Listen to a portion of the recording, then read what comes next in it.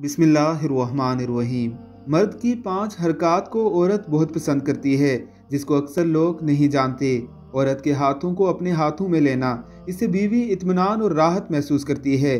बीवी के चेहरे और माथे पर लटके बालों को नरमी से हटाना, ऐसे करने से बीवी आपको हर तरह का तासर देगी।